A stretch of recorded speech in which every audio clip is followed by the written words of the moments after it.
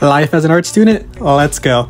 Oh, look at that, I'm already there. Cool. So starting off on Monday, I had Maya. I did my very first bouncing ball. Over the past year, I've definitely learned to love the stationary traffic. Anywho, not going to sleep by that. Uh, here's a little sketch I did during lunchtime, and then for classes, this is a dynamic sketching class with a lot of ink drawings, and from a blank page, here are some sketches from my creative perspective class. I'm not quite done yet, but anywho, check out my